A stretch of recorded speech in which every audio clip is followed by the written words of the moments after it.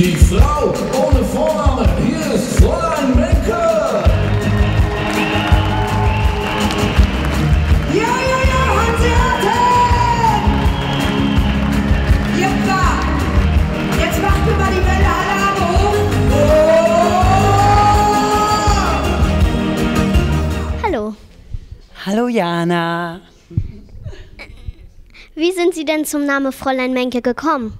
Ich habe mir damals überlegt, dass es vielleicht ganz lustig wäre, sich Fräulein zu nennen, weil Fräulein war schon out. Also man nannte sich nicht mehr Fräulein. Es gab große Diskussionen. Fräulein, was ist das überhaupt? Und dann wurde das einfach allgemein gehalten und nur noch Frau genannt. Und ich habe mir gedacht, wenn ich jetzt 22 bin, da passt Fräulein ganz gut. Bevor das ganz stirbt, habe ich mich so genannt, damit man sich das gut merken kann. Ich glaube, man kann sich Fräulein Menke gut merken. Ach so, okay. Ähm, und was unterscheidet Ihre Musik von anderer? Kann ich gar nicht genau sagen. Zumindest habe ich das selbst geschrieben damals. Also ich habe mich ans Klavier gesetzt und habe erst mal in Englisch angefangen, weil deutsche Texte bin ich erst gar nicht drauf gekommen. Soll ich dir das mal in Englisch vorsingen, wie das ganz am Anfang war? So that you love me, you're not the only one who make me cry. So that you love me, you're not the only one who say goodbye. Ja, so war das am Anfang. Und dann habe ich gedacht, Mensch, ich kann nicht Englisch singen, weil da gibt es Stevie Wonder und, und Mariah Carey und Whitney Houston. Und da habe ich so einen Spiegel geguckt. Nee, du bist 22, du kommst aus der Nordheide, du musst Deutsch singen. Und dann bin ich auf hohe Berge gekommen, weil ich auch gern Skilauf und rodel. Oh, das ist schön. Okay. Ähm, und gibt es denn so einen typischen NDW-Song? Ja, also es ist ja so, ich war damals 22 und da habe ich den Vater meiner beiden Kinder, Alice und Ivo, kennengelernt. Die sind mittlerweile schon 22 und 19 Jahre alt. Sigi hieß der, 82, als ich auch meinen Hit hatte. Und da mochte ich so gerne.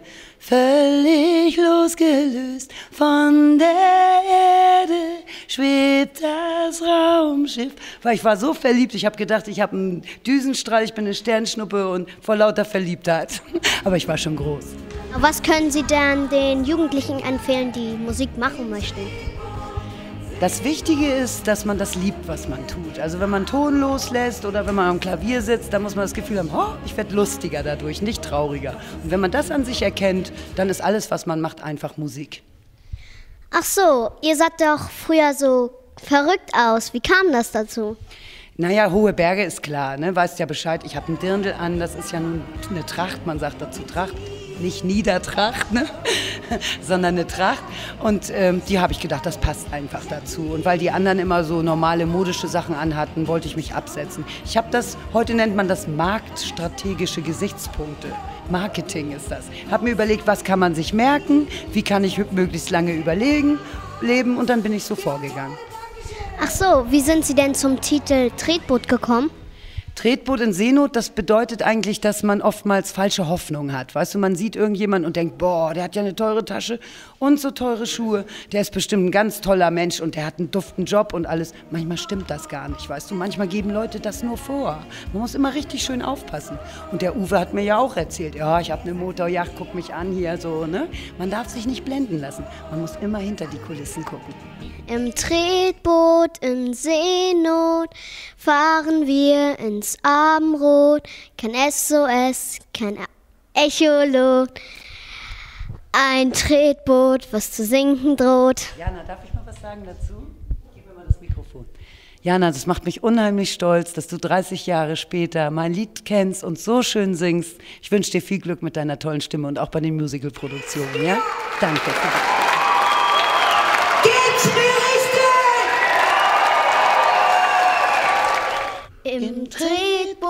In Seenot treiben wir ins Abendrot. Kein SOS, kein Echolot, ein Tretboot, was zu sinken droht. Hey, hey. Yeah! Mäusling TV. Die wissen, was abgeht.